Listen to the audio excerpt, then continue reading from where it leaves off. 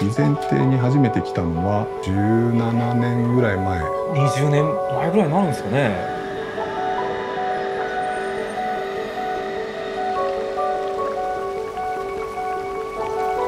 備前邸のスープができたのは自分のその作る時に教えてもらったのは本だね。それが私の師匠。え東京ラーメン。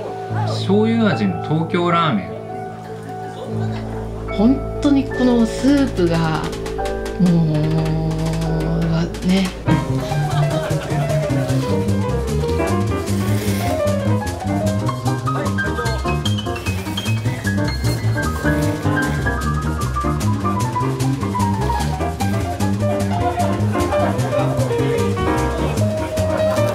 たまたま麺をね食べたくて食べに来たらマスターから「今度こうするんだけど」って言われて「あじゃあ行く行く」みたいな。